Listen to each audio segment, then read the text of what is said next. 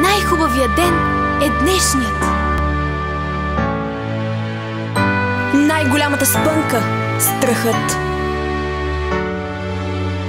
Най-лесното нещо е да се заблудиш. Най-голямата грешка е да паднеш духом. Най-добрите учители Децата, Най-опасният човек лъжецът, Най-красивият подарък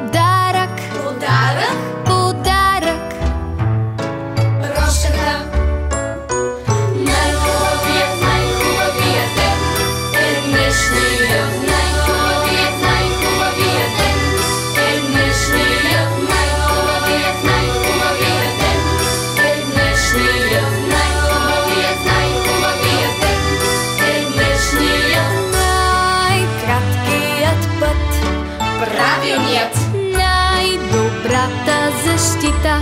Усмивката!